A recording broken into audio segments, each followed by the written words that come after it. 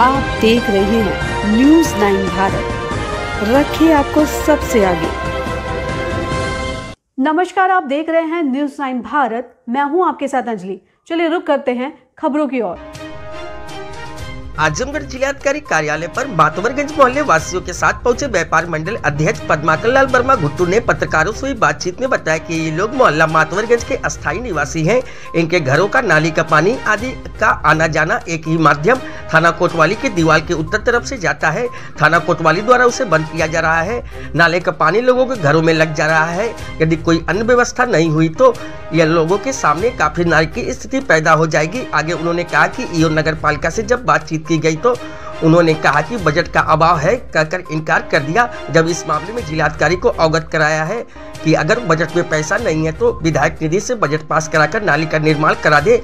उपरोक्त प्रकरण की गंभीरता को संज्ञान में लेकर अशासी अधिकारी नगर पालिका परिषद आजमगढ़ को तत्काल नाली और रास्ता बनवाए जाने हेतु आदेश देने की मांग की। मामले को संज्ञान में लेते हुए मिला उचित कार्यवाही का आश्वासन। इस मौके पर काफ़ी संख्या में मोहल्ले वासी उपस्थित रहे।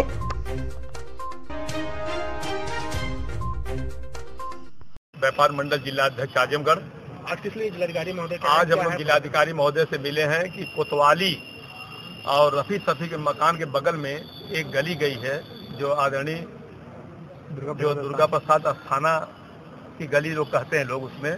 उसमें जो है पानी को दस मीटर पहले से नाली उधर से आई है दस मीटर पहले से पानी नाली जो है वो कोतवाली के रास्ते से बह रहा था। तो कोतवाल साहब जो है कोतवाली के लोग जो है उसको बंद कर रहे हैं कर रहे हैं ये हमारे कोतवाली के अंदर से पानी बह रहा है हम इसको बंद कर रहे हैं। आप इसका कोई व्यवस्था करिए।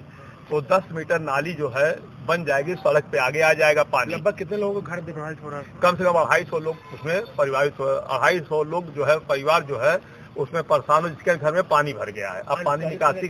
अधिकारी का आश्वासन यही मिला है कि आप जो है अभी ईओ साहब को लिख के देंगे हम ईओ साहब से मिले तो ईओ साहब कहे नगर पालिका के ईओ हमारे पास कोई बजट नहीं है।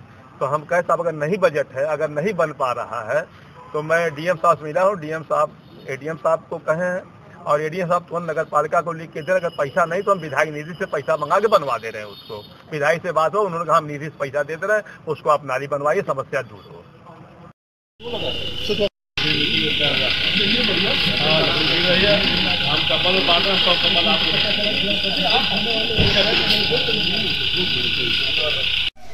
वो खुलल है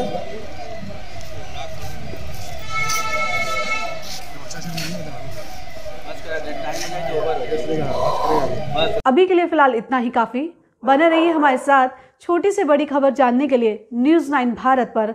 अब चाहूँगे इजाज़त। नमस्कार।